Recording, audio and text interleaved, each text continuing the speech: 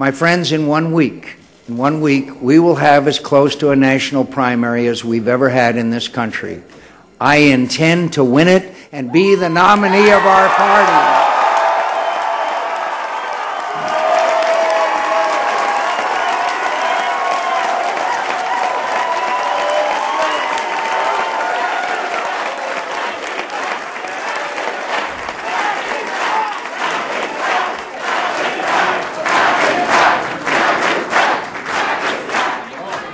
I, I, I intend to do that by making it clear what I stand for.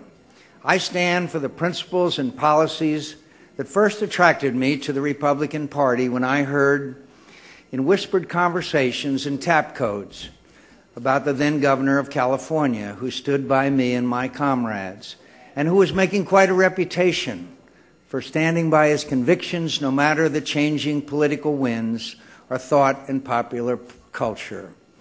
When I left the Navy and entered public life, I enlisted as a foot soldier in the political revolution he began.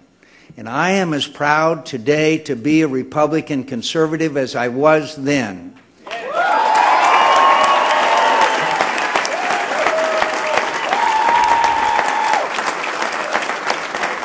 I, I trust in the courage, good sense, resourcefulness, and decency of the American people who deserve a government that trusts in their qualities as well and doesn't abrogate to itself the responsibilities to do for the people what the people can and want to do for themselves.